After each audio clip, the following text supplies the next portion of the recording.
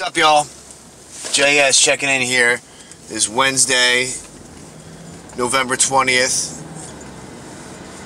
18th is Monday, 19th is Tuesday, 20th is Wednesday. Yes, it's the 20th of November, 2019. And I'm on my way to work, and I just, I'm going down to Florida to put together this plan, this holistic life coach, um, and plan and to spend time. Uh, hopefully, I'll see my grandfather. But uh, I got my Bemis right now. Those who just first joining, welcome.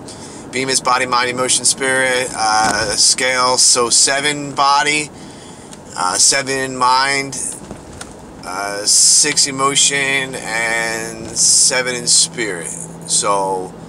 Uh, I, I know that there's something other force guiding me because I'm still doing what I'm doing and staying clean.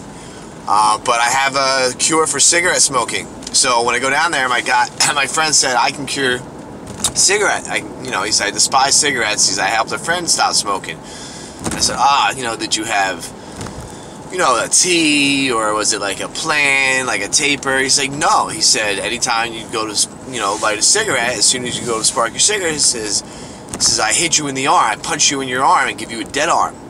And I started laughing. I said, that's a terrible idea. and, he, and he said, and he said, he said that's a great idea. He said because the dopamine rush that you get from the cigarettes, he said, is overshadowed by the the punch, the dead arm.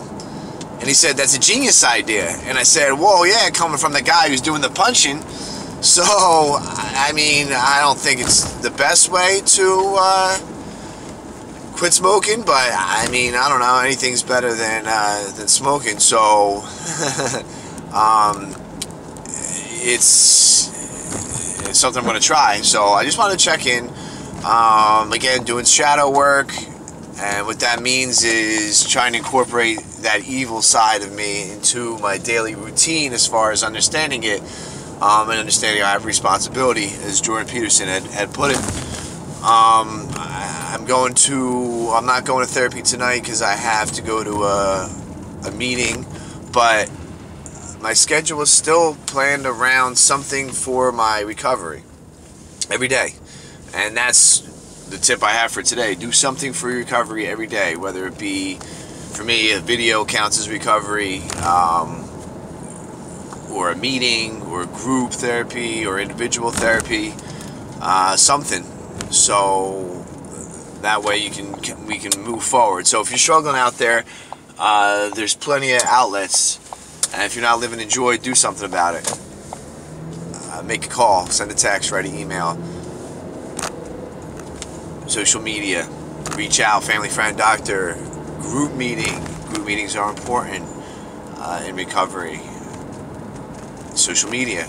So don't text and drive, and stay hydrated, peoples. JS, signing off.